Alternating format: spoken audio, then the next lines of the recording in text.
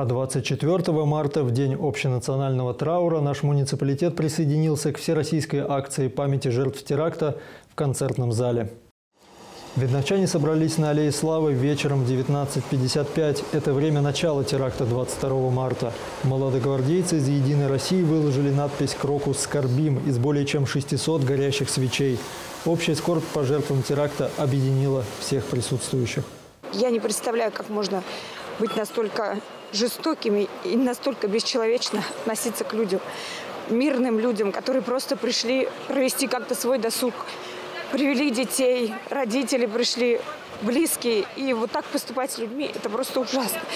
Это ужасно настолько, что нет слов сегодня. Их просто нет. Равнодушных и непричастных к, этому, к этой трагедии не осталось.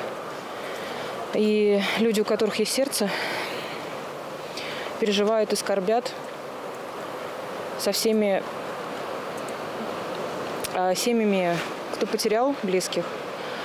Скорейшее выздоровление, кто находится сейчас в тяжелом состоянии. Хочется сказать спасибо всем жителям Ленинского городского округа, которые вторые сутки идут сюда, к обелиску, для того, чтобы поклониться памяти малышей, ребят, взрослых, людей, которые пришли в пятницу в Крокус-Сити, а уйти оттуда уже не смогли.